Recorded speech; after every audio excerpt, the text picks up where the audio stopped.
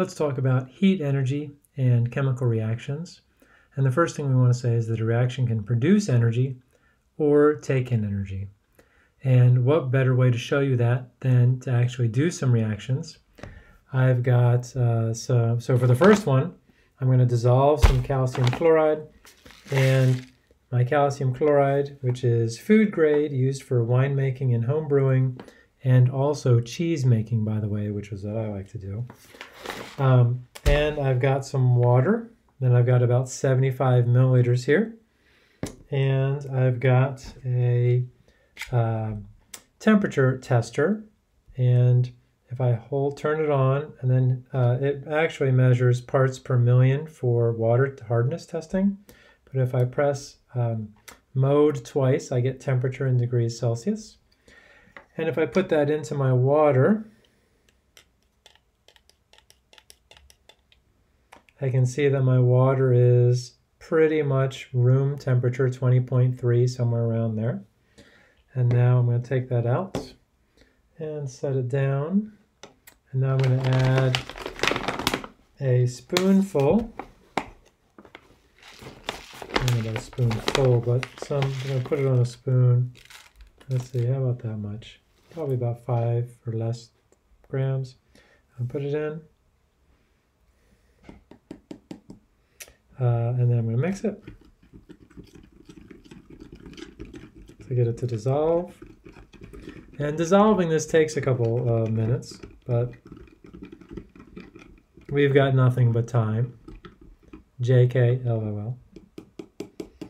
All right, uh, let's see. We've dissolved it a little with that. Let's see what's happening to our temperature.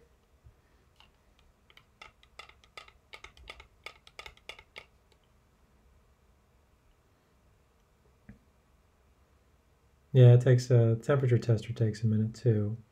Temperature is going up, not phenomenally. Mix it a little more. But I can't dip this thing all the way into it. So yes, you can see that the temperature is going up.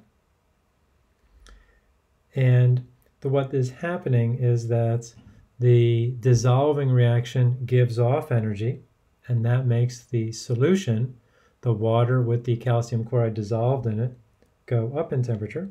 I don't know if we've sort of maxed out here. Mix it up a little more, temperature goes up. Eh, two or three degrees already. All right, let's take that out, set it down, dry it off. All right, and so what did we just do there? Oh, I can feel that that's warming up a little bit. So we just dissolved calcium chloride, and we can write a dissolving reaction. We've done that before.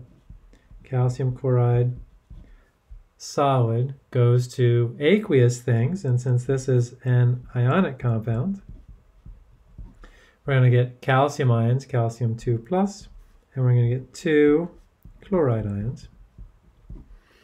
And what's different this time is we're going to put, put, put, plus heat over here. And that means that heat is produced.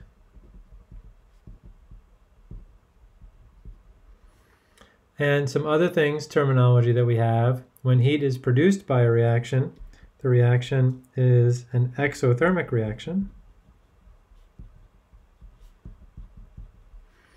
Exo means exit, therm means heat. Heat is exiting the reaction. And um, the uh, so since heat is coming out of the reaction, heat is produced, it is being taken in by the solution. So the solution, or the water, but since something's dissolved in it, we'll call it a solution. The solution heats up. Okay? And we'll talk more about this but let's go to our second demonstration, all with household chemicals. And this one is going to be the reaction of vinegar and baking soda. And vinegar contains acetic acid. And there's two ways that we can write acetic acid.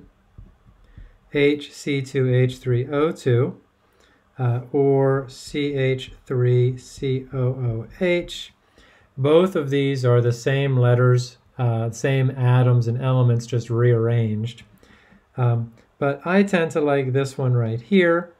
This one tends to be more like the acids that we're used to showing, but however you do it, um, yeah, yeah, let's use this one down here. So aqueous plus baking soda, which will be a solid this time, HCO3, that's going to be a solid. And if you've ever made a baking soda volcano before, I know my daughter and I have many, many times, um, you know that one of the products here is going to be a gas. Let's just go ahead and fill in the products. This is a double replacement reaction, actually, where we've got our Na plus and our HCO3 minus ions. Here it's a little different because we've got our acetate ion with an H at the end but we have the plus here. We pair it with the negative, the uh, cat and the anions here make sodium acetate,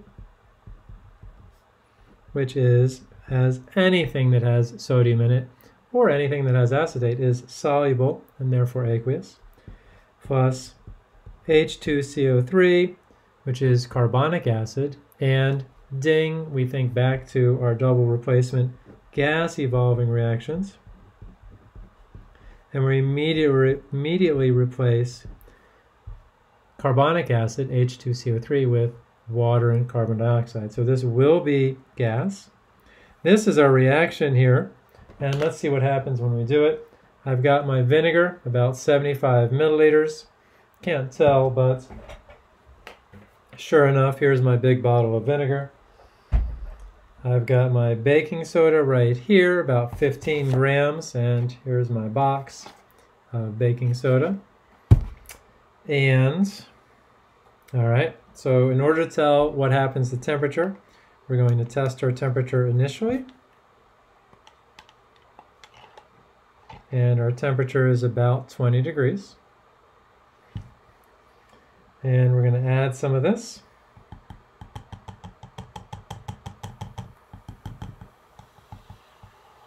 Don't bubble too much. Don't bubble too much. Ooh, I'm getting nervous. All right, good. It didn't overflow.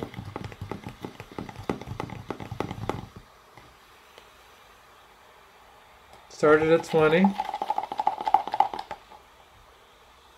Underwhelming so far, I know. Takes a minute to get down there, too. Down to 19.2, 19.1. Let's live dangerously. Let's add a little bit more, although not too much. Oop, don't let the whole thing get coated.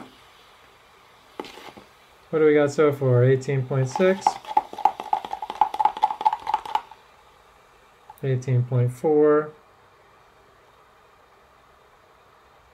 Slowly it creeps down. We could add more and we could make a heck of a volcano with what's left, but uh, let's hope that, yep, 18 degrees.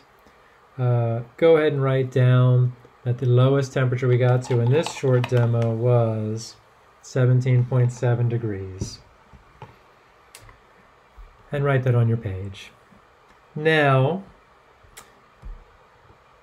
this one cooled down, so we have some notes to write up there, but let's go ahead and keep writing here. So first off, the solution cooled down as heat was removed from the solution and went into the reaction. Was removed from solution or taken from solution and went into the reaction.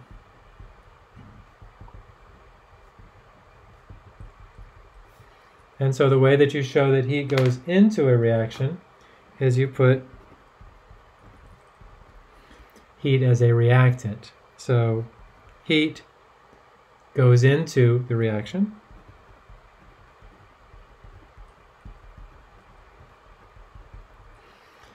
Right. And uh, another what, what we call this then when heat goes into a reaction is we call it an endothermic reaction.